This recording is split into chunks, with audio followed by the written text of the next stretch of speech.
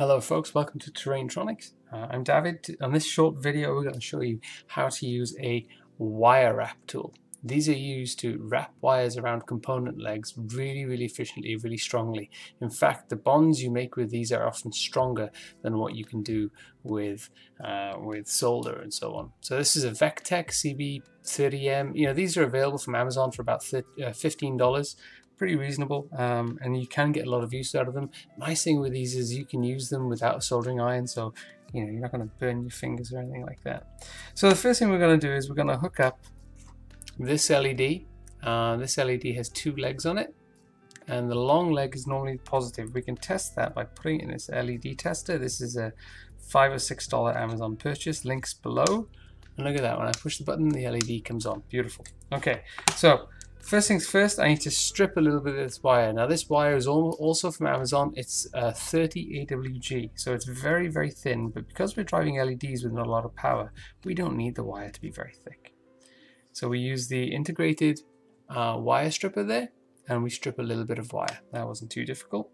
And then, I'm not sure if you guys can see this, in the end of the, uh, the wire stripping tool, you want to insert the metal and you'll see it kind of pop up by here. Hopefully you guys can see that. I'm trying to do this and watch the screen at the same time, forgive me. All right, going to put it back like this now. This is red, so it's going to go to the positive, so it goes to the longer leg of the LED. I'm to insert that down there. Now you watch this, you ready?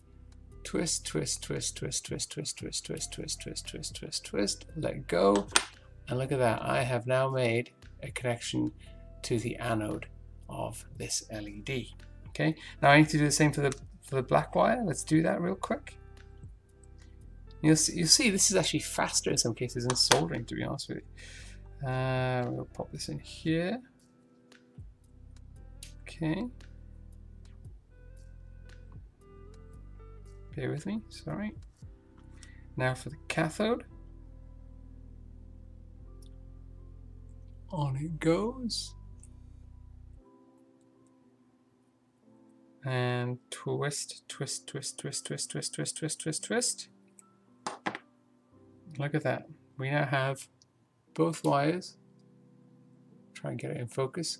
Both wires tightly put on there. I can actually cut these legs now. And this LED is now ready to be glued into our terrain. Now the alternative to crimping uh, onto proper little crimp connectors, and something that just dawned on me, is that because these Harlech Castle boards have regular pin headers, you can use the inverse header, which is one of these female ones, and slot it on like that. And because you've got these pins hanging in the air, we can wire wrap around these. So let's try that real quick. This outside row is all 5 volts, so they're all red and this is our red connector. So let's uh, trim it just a little bit more. We fold it back into our wire wrap tool. Ready? This pin goes down in here. Oh, hold on. Here we go. You ready? One two three four, five. Voila. Now let's bring that up and zoom in. Look at that. That is, apologies for my fingernails, but that is a very good wire wrap. That's not going to short against anything. So that's ready to go. That's pretty cool, I think. So let's uh, let's add one onto its friend here. Hold on. So that's going to be the red side and I'm actually going to cut this off. We'll here we go. There's a bit of wire wrap on there. I'm going to give it a bend so we can get it into the tool a little easier. And let's fix the zoom. Sorry, guys. There we go. In this goes like that. It's ready. Let's attach this to the first one. Can you guys see that? Yes, you can. Twist, twist, twist, twist, twist, twist, twist. Take away. That, that is going absolutely nowhere. Like I'm tugging on it, it's going absolutely nowhere. So at the end of it, you could actually, once you've done all of these, you know, cut these down very, very easily. And then you have something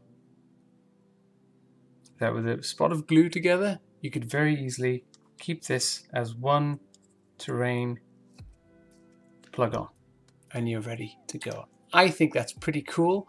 Um, stick around for more. Uh, this is Rochi from uh, Terraintronics signing off. Let me know what you think. Cheers, guys. Bye.